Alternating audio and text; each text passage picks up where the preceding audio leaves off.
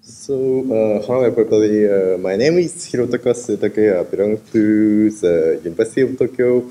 My major is human-computer interaction and user interface. Today, I will do the pre presentation, which title is Sapporo and tonkaz Test Framework for Data Analysis.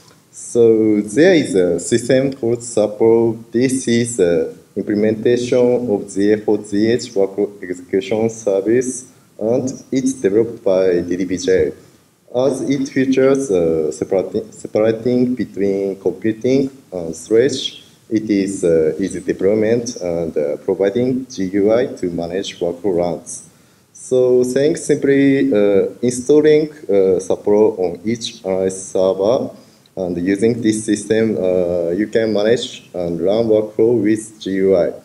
But Sorry for I couldn't explain all of Sapporo in this presentation, so please check uh, these links uh, and ask Tatsuro. Yeah. so as main topics, so CI for workflow. So do you know what is continuous integration?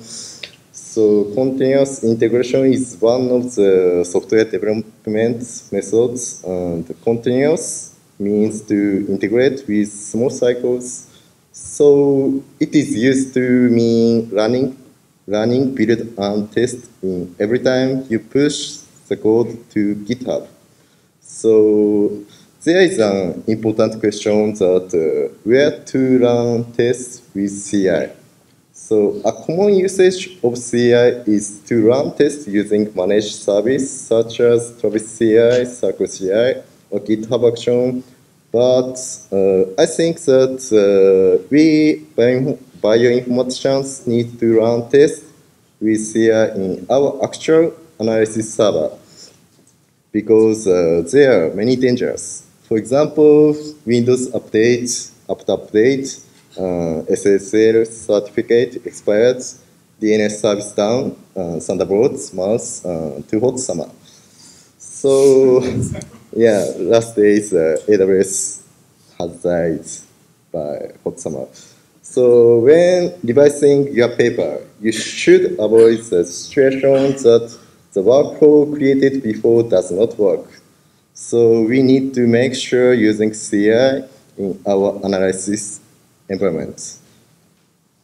So I add the CI function to Sapporo and it makes enable to run tests with CI from web UI and run tests in nice environments. So as the next topics about writing tests, uh, Tatsuro and Manav always say write tests, but uh, someone says I don't write tests uh, because uh, writing tests is difficult. Writing itself is difficult, handling test data is difficult, and to define passing tests is difficult. So I'm developing uh, tonkaz, which is uh, Git-like CLI for creating test cases. It enables to create and run tests easily and to manage test case in one file and high portability itself. So from now on, I will explain tonkaz usage. First, uh, initialize the environment as the development server.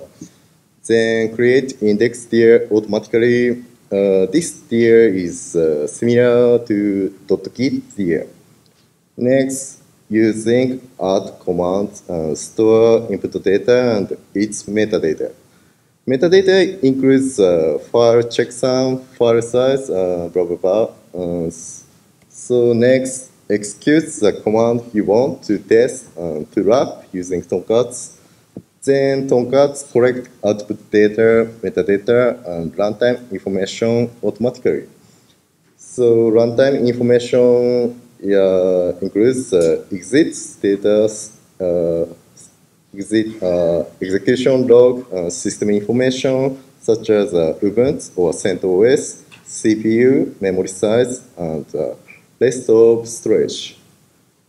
Next, uh, execute the command you want to, uh, sorry. Next, uh, using, sorry. So finally, uh, using bundle commands. It makes enable to bundle test case into one file. This test case file includes input data, output data, data's metadata, command, and system information. Up to this point, uh, finish creating the test case. When you want to execute tests at, at the actual analysis environment, put test case file which created at the environment, uh, development environment and use fly command.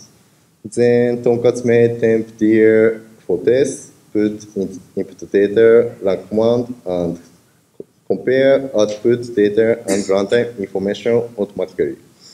So as summary, uh, tonkaz make easy to create and execute tests. So for example, create uh, using four commands, execute using one command.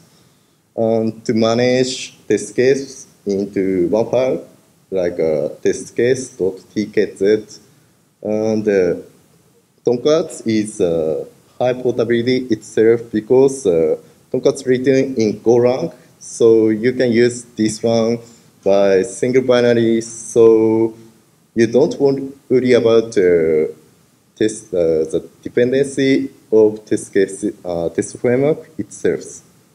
So as a whole summary, I developing uh, Sapporo and tonkaz, and uh, we are doing uh, Japanese workflow communities, so please join us and uh, enjoy hackathon. Yeah, thank you.